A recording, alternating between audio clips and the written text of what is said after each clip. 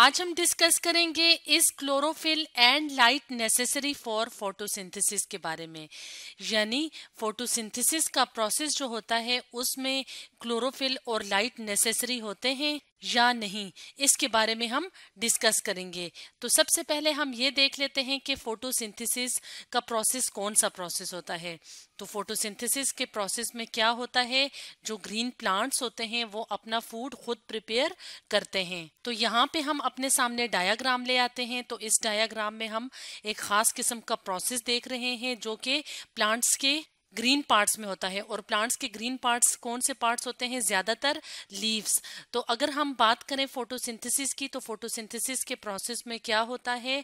पौधे ज़मीन से पानी जज्ब करते हैं तो पानी यहाँ तक आता है और यहाँ पे यानी ग्रीन जो पार्ट होता है, लीफ, उसमें ख़ास किस्म की ऑर्गेनेलीज होती हैं, जिन्हें क्लोरोप्लास्ट कहा जाता है। तो क्लोरोप्लास्ट के अंदर ग्रीन कलर का पिगमेंट होता है, जिसे कहा जाता है क्लोरोफिल। तो क्लोरोफिल जिसकी वजह से पौधे का कलर हमें ग्रीन नज़र आता है, उसकी मौजूदगी में पौधे कार्बन डाइऑक्साइड को और वाटर को यूज़ करके सनलाइट की रोशनी की मौजूदगी में अपना फ़ूड खुद प्रिपेयर करते हैं और ये फ़ूड होता है कार्बोहाइड्रेट्स की फॉर्म में, यानी ग्लूकोज की फॉर्म में और ऑक्सीजन गैस रिलीज़ होती है। तो इस प्रोसेस को फोटोसिंथेसिस का प्रोसेस कहा जाता है। तो आज की वीडियो में हम एक्सपेरिमेंट्स की मदद से देखेंगे कि क्या फोटोसिंथेसिस के प्रोसेस के लिए क्लोरोफिल और लाइट ज़रूरी होते हैं या नहीं। तो सबसे पहले हम देखेंगे कि क्लोरोफिल जो होता है वो फोटोसिंथेसिस के प्रोसेस के लिए कितना ज़रूरी होता है। तो सबसे फ़र्स्ट स्टेप में क्या करेंगे हम? सबसे फ़र्स्ट स्टेप में एक प्लांट लेंगे और कौन सा प्लांट लेंगे? जो कि वेरीगेटेड लीफ प्लांट होगा। वेरीगेटेड लीफ प्लांट का क्या मतलब होता है? तो इसके लिए हम अपने सामने एक डायाग्राम भी ले आते हैं और ये देख लेते हैं कि वेरीगेटेड लीफ प्लांट कौन सा प्लांट होता है। तो ऐसा प्लांट जिसके लीफ में मुख्तलिफ़ पैचेस होते हैं, यानी कि मुख्तलिफ़, अगर हम यहाँ पे देखें तो ये एक पैच होगा लीफ के अंदर एक कलर का, दूसरा पैच होगा दूसरे colour in addition to green colour यानी ग्रीन कलर तो होगा ही होगा जो कि क्लोरोफिल पिगमेंट की वजह से होगा, लेकिन दूसरे कलर के पैचेस भी होंगे किसी दूसरे पिगमेंट्स की प्रेजेंस की वजह से। फॉर एग्ज़ाम्पल क्रॉटन है कोलियस है या जेरेनियम के जो प्लांट्स होते हैं, उनके वेरीगेटेड लीफ प्लांट होते हैं। तो यहाँ पे हम पॉटेड प्लांट लेंगे, यानी ऐसा प्लांट जो कि पॉट के अंदर होगा और वेरीगेटेड होगा। तो नेक्स्ट स्टेप क्या होगा? नेक्स्ट स्टेप होगा डी स्टार्चिंग प्रोसेस तो डी स्टार्चिंग के प्रोसेस में क्या होता है? स्टार्च रिमूव कर दी जाती है लीफ से। क्योंकि स्टार्च या जो फ़ूड होता है, वो बनता ही लीफ में है। तो अगर हम क्या करें? डी स्टार्चिंग के प्रोसेस में क्या होता है कि अगर इस पूरे पॉट को अंधेरे में रखते हैं 48 आवर्स के लिए तो लीव्स में जो स्टार्च मौजूद होगी, जो कार्बोहाइड्रेट या जो फ़ूड मौजूद होगा, वो रिमूव हो जाएगा। तो इस प्रोसेस को क्या कहेंगे? डी स्टार्चिंग का प्रोसेस नेक्स्ट स्टेप में हम क्या करेंगे? नेक्स्ट स्टेप में हम वेरीगेटेड जो लीफ होगा लीफ प्लांट जो होगा, उसको दोबारा से सनलाइट में रखेंगे ब्राइट सनलाइट में फॉर अबाउट सिक्स आवर्स छह घंटों के लिए फिर इसे सूरज की रोशनी में रखेंगे। उसके बाद नेक्स्ट स्टेप क्या होगा? आयोडीन टेस्ट आयोडीन टेस्ट को कंडक्ट किया जाता है। ये जानने के लिए कि प्लांट फोटोसिंथेसिस के प्रोसेस के दौरान स्टार्च प्रिपेयर की है कि नहीं। यानी आयोडीन टेस्ट से हमें पता चल जाता है कि लीव्स में स्टार्च मौजूद है कि नहीं। तो आयोडीन टेस्ट के लिए हम यहाँ पे एक और डायाग्राम की मदद लेंगे। तो यहाँ पे हम अपने सामने एक डायाग्राम ले आते हैं और इसके जो डिफरेंट स्टेप्स होते हैं उसको डिस्कस कर लेते हैं। तो जैसे कि हमने यहाँ पे देखा था, यहाँ पे पहले हमने क्या किया? प्लांट को डिस्टार्च किया, उसके बाद क्या किया? उसको दोबारा सनलाइट में रखा। अब हम आयोडीन टेस्ट परफॉर्म करेंगे। तो हम क्या करेंगे कि इस, ये जो एक्सपेरिमेंटल प्लांट है, इसमें से एक लीफ लेंगे और उस पे आयोडीन टेस्ट स्टार्ट करेंगे। अब फ़र्स्ट स्टेप में क्या करेंगे हम? कि लीफ को बॉइलिंग वाटर में बॉईल करेंगे। यानी जो हमने लीफ प्लग किया था उस पॉट से तो उसको क्या करेंगे हम? बॉईल करना स्टार्ट कर देंगे और पानी में मतलब इमर्स करके पूरे का पूरा इसको पानी में भिगो के इसको बॉयल करेंगे। उसके बाद के स्टेप में हम क्या करेंगे कि इस लीफ को फिर बॉईल करेंगे एथानॉल के अंदर। यानी कि हमने ये टेस्ट ट्यूब ली, इसके अंदर ये वाला जो लीफ था, जो पहले हमने पानी में बॉईल किया था, इसको निकाल के टेस्ट ट्यूब में डालेंगे और इसके अंदर एथानॉल भी डाल देंगे। अब इस पूरी टेस्ट ट्यूब को, इस बॉइलिंग वाटर का जो बीकर है, इसके अंदर रख देंगे। अब लीफ कहाँ पे मौजूद है? बॉइलिंग एथानॉल में मौजूद है। अब नेक्स्ट स्टेप में हम क्या करेंगे? इस लीफ को यहाँ से निकाल के वॉश करेंगे। और इसको गर्म पानी के साथ वॉश करेंगे ताकि ये नरम हो जाए। उसके बाद क्या करेंगे? इस लीफ को यहाँ से निकाल के इसको किसी सरफेस के ऊपर रख देंगे और फिर इसके ऊपर हम आयोडीन टेस्ट करेंगे। आयोडीन टेस्ट में हम क्या करेंगे? आयोडीन के ड्रॉप्स लेंगे और इन ड्रॉप्स को लीफ के डिफरेंट पार्ट्स पे स्प्रेड करेंगे, यानी डालेंगे। ये फाइंड करने के लिए कि वहाँ पे स्टार्च मौजूद है कि नहीं है।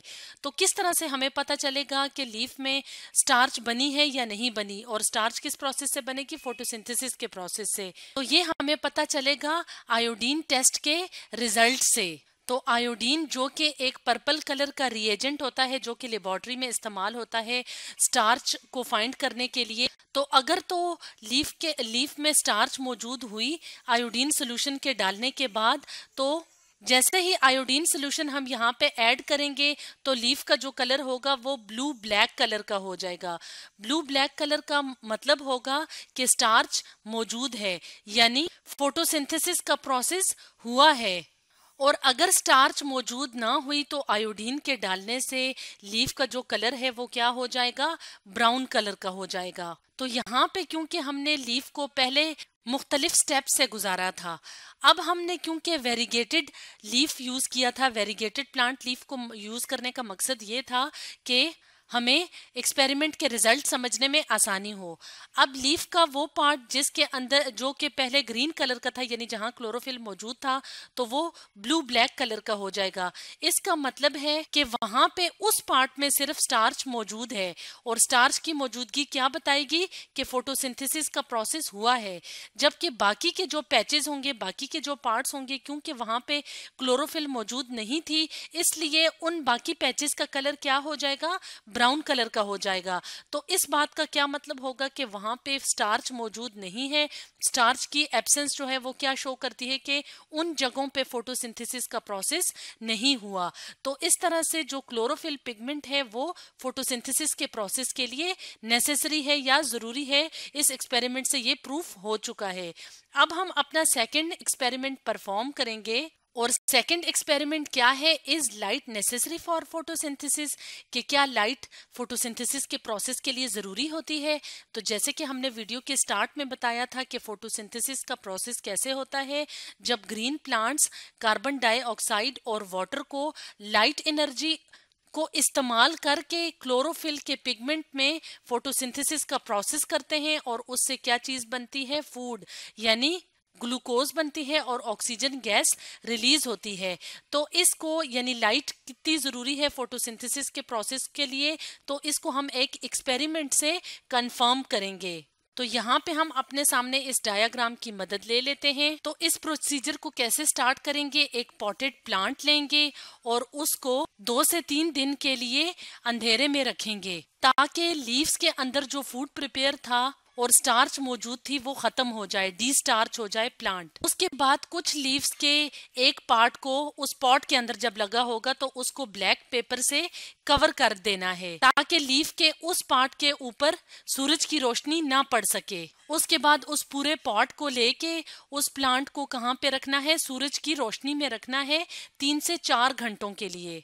अब क्या करना है? प्लग करना है लीफ को।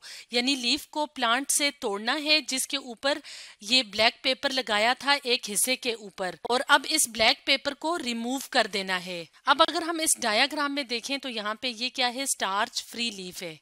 लेकिन जब उस प्लांट को दोबारा रखा था रोशनी में तो दोबारा से जो पौधा है वो फिर अपनी स्टार्च प्रिपेयर कर लेगा। सवाए? तब जब सूरज की रोशनी नहीं थी, यानी जब उसको डार्क में रखा था तो वो डी स्टार्च हो गया था। जब उसको लाइट में लेके आए तो दोबारा से स्टार्च बननी शुरू हो गई।